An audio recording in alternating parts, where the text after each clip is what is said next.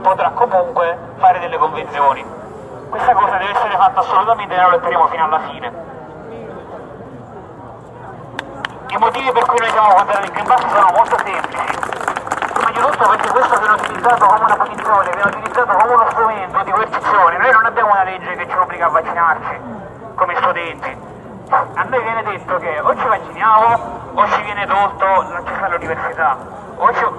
A cui comunque paghiamo le tasse, a cui comunque siamo iscritti. Bravo. e a cui comunque dovremmo, ci dovrebbe essere consentito seguire. Noi ci rendiamo conto del fatto che è molto meglio garantire la didattica in presenza, ma ci rendiamo anche conto del fatto che non può essere tolto il diritto allo studio a delle persone che sono iscritte e a delle persone che stanno pagando le tasse universitarie.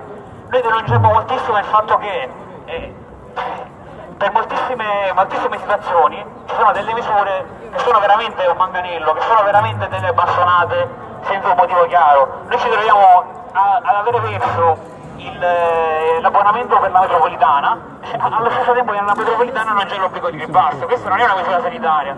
Dentro la metropolitana, eh, metropolitana che noi dobbiamo prendere, mentre tra l'altro